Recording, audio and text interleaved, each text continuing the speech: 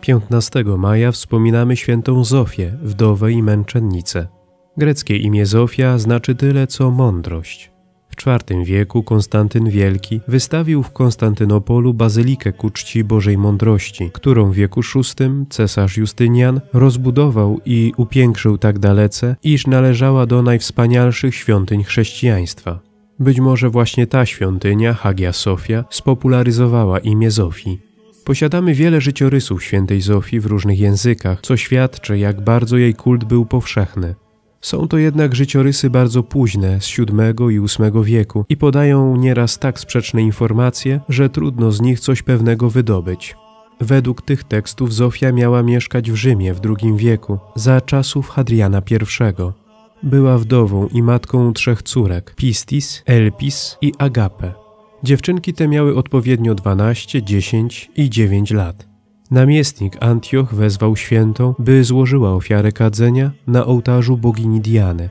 Kiedy Zofia stanowczo odmówiła, wyprowadzono jej nieletnie dzieci i poddano na oczach matki wyszukanym torturom.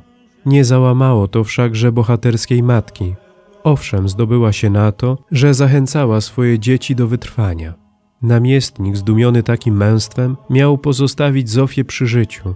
Ta jednak zmarła z boleści za córkami na ich grobie. Inna wersja wspomina, że Zofia miała pochodzić z Mediolanu, tam też miała ponieść wraz z córkami męczeńską śmierć. Papież Paweł I sprowadził jej relikwie do kościoła San Silvestro in Capite w Rzymie. Ze wszystkich opisów jedno wydaje się pewne, że ta święta żyła, miała trzy córki i została umęczona za wiarę. Utwierdza nas w tym kult świętej Zofii, bardzo wczesny i powszechny, zarówno na wschodzie, jak i na zachodzie. Dalszy rozwój jej kultu miał miejsce w połowie VII wieku z chwilą sprowadzenia jej relikwii do alzackiego klasztoru w Eschau oraz za pontyfikatu papieża Sylwestra II.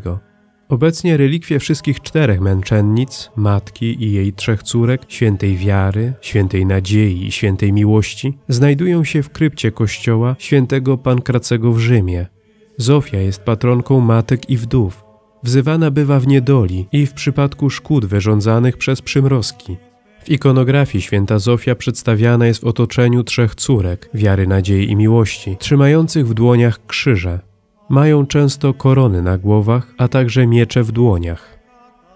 Módlmy się. Wszechmogący Boże, dla chwały swojego Kościoła dałeś zwycięstwo w męczeństwie świętej Zofii, która upodobniła się do Chrystusa w Jego męce i śmierci. Spraw, abyśmy wstępując ślady męczennicy, osiągnęli radość wieczną. Przez naszego Pana Jezusa Chrystusa, Twojego Syna, który z Tobą żyje i króluje w jedności Ducha Świętego, Bóg przez wszystkie wieki wieków. Amen.